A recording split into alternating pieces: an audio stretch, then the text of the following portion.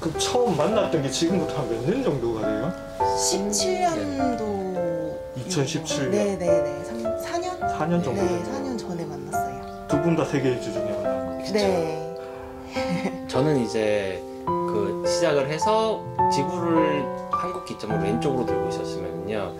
왼쪽이라고 하면 유럽 쪽으로 말씀. 그쵸 저는 이제 그 인도 이쪽으로 빠져가지고 유럽으로 해서 북미로 넘어갔고 이쪽 반대로 넘어가다가 저희가 딱 교차된 지점이 칠레였거든요. 칠레 산티아고에서 이제 실무를 영접하게 된 거죠.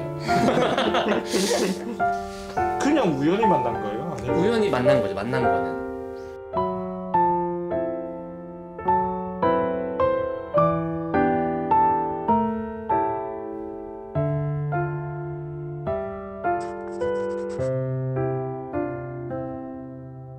사실 여행하기 전에 이제 인스타그램이라고 예. SNS에서 그때 한창 이제 세계 여행이 엄청 붐이었거든요. 예. 그래서 해시태그만 찾아봐도 어떤 사람이 어디에서 여행 중이다라는 걸 알 수 있는 그런 정보들을 검색할 수가 있는데 예. 제가 여행 시작하기 전에 이미 인도랑 네팔을 여행 중이었어요. 아 그럼 해시태그를 통해서 네. 장성호라는 사람이 네. 여행을 하고 있다는 네. 것도 네. 알았고. 정보 그- 얻으려고 정보 얻으려고 이제 예. 처음엔 정보 얻으려고 접근을 네. 했어요. 예. 네. 칠레에서 우연히 그 스쳐 지나가는 그때 같은 데서 묵게 된 거예요. 음, 그걸 이제 서로가 예약을 하고 그때 알게 된 거죠. 어, 같은 데 묵게 되는구나. 음, 그래서 거기서 만나서 이제 그때 처음으로 얼굴 보고 음. 알게 된 거죠.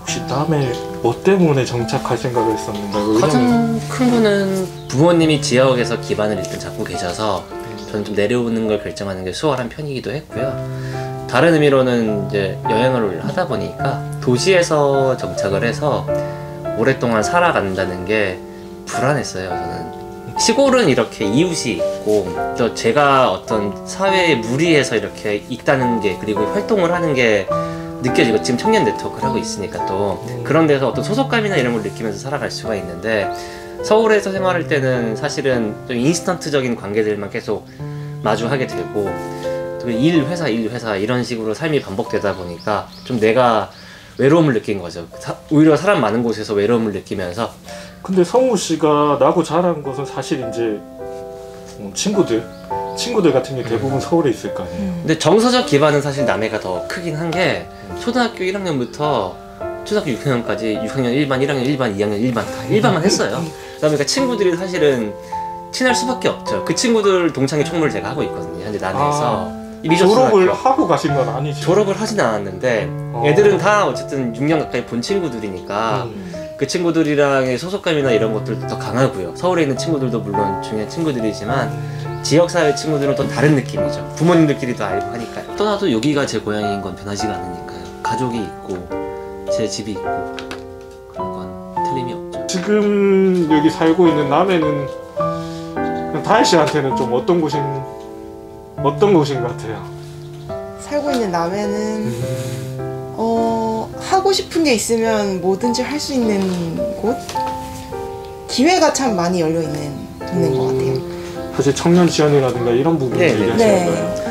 직접적인 인연은 없는데요. 네. 제가 이제 첫 회사 생활을 하동에서 시작을 했어요. 아, 하동에서. 네, 그러다 보니까 이제 남해가 하동이랑 지역적으로 가깝고 네. 그래서 좀 남해에 대한 친근한 이미지가 있었던 그런 사람인데 그럼 하동에는 기본 기존에 연구가 있었던 거예요? 비연고지죠. 발전소 원래 어디? 원래는 이제 경기도 출신이고요. 음, 서울에서 대학 생활을 하고 음, 발전소에 합격을 했는데 하동으로 발령을 내더라고요. 음. 그래서 정말 연구 하나도 없이 하동 가서 근무를 하다가 이제 본사가 부산에 있어서 부산에서 또 어느 정도 일을 하다가 이제 일을 그만두고 여행을 하고 그리고 다시 서울로 가서 있다가 서울에서 저도 비슷한 생각을 하게 됐어요. 서울에서 내가 혼자서 살아갈 수 있을까라는 고민도 되게 많아졌었고 그런 고민을 하던 때에 지금 남편이 짜잔. 등장을 했죠. 사실 셀프 웨딩이라는 촬영이라는 거 하기가 쉽지가 않잖아요. 아, 예. 그렇죠. 그렇죠. 누가 생각해냈어요? 셀프 할 거라고? 사실은 이쪽에서 좀 생각을 많이 했죠. 다혜가. 음, 네, 다른 도시에서 활동하고 있는 작가를 섭외를 하면 출장비도 많이 나가고 아 배경은 무조건 남해로 해야 네, 되겠다. 예. 너무, 그런 배-. 너무 남해로. 예쁘니까요. 네. 남해로 무조건 해야겠다라는 생각을 첫 번째로 했었고 두 번째로 이제 작가 문제가 있었는데 비용적인 측면도 만만치가 않을 것 같더라고요. 그리고 우리보다 이 몰라요. 동네에 대한 이해도가 조금 떨어질 것 같고 그렇겠지요. 예, 외부 작가들은 그래서 이제 여행을 하면서 사진을 정말 많이 찍었거든요.